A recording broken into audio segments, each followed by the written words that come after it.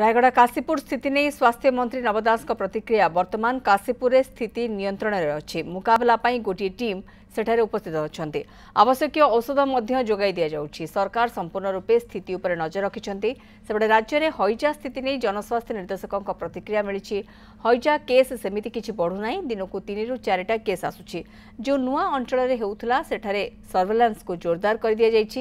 ସ୍ୱାସ୍ଥ୍ୟକର୍ମୀ ଘରକୁ ଘର ଯାଉଛନ୍ତି ଲୋକଙ୍କୁ ସଚେତନ କରାଯାଉଛି ଆଠଟି ମୋବାଇଲ୍ ଭ୍ୟାନ୍ ବୁଲୁଛି ଏବଂ ଔଷଧ ଦିଆଯାଉଛି ଗାଁରେ ସାଲାଇନ୍ ଦିଆଯାଉଛି ସେଠାରେ ପାଞ୍ଚଟି ହସ୍ପିଟାଲକୁ ପ୍ରସ୍ତୁତ ରଖାଯାଇଛି ଲୋକଙ୍କୁ ମେଡିକାଲରୁ ଡିସ୍ଚାର୍ଜ ହେବା ପରେ ପାଞ୍ଚ ଦିନ ଅବଜରଭେସନରେ ରଖିବା ପାଇଁ ସେମାନଙ୍କ ଘରକୁ ଛଡ଼ାଯାଉଛି ନିଶ୍ଚିତ ଭାବରେ ବର୍ଷା ସେସନ୍ ଗୋଟେ ରୋଗୀ ସେସନ୍ ବୋଲି ଧରାଯାଏ ସାଧାରଣ ଭାବରେ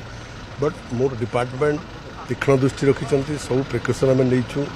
କୋଲରାଠୁ ଆରମ୍ଭ କରି କରୋନା ପର୍ଯ୍ୟନ୍ତ ଆମେ ପ୍ରିପେୟାର ଅଛୁ एवं समस्त कहुई औषध रखाई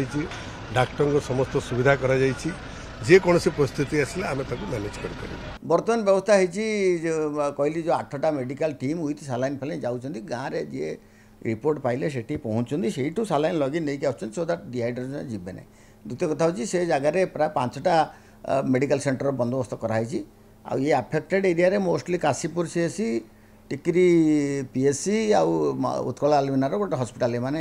ଟ୍ରିଟମେଣ୍ଟ ଦାୟିତ୍ୱ ନେଇଛନ୍ତି ତେଣୁ ତାଙ୍କୁ ଆମେ ଡିସିସନ୍ ହେଇଛି ପାଞ୍ଚ ଦିନ ସେମାନେ ରହିବେ ସେଠି ପୁରା ସ୍ଥିର ଅବସ୍ଥାକୁ ଆସିଲେ ଘରକୁ ଯିବେ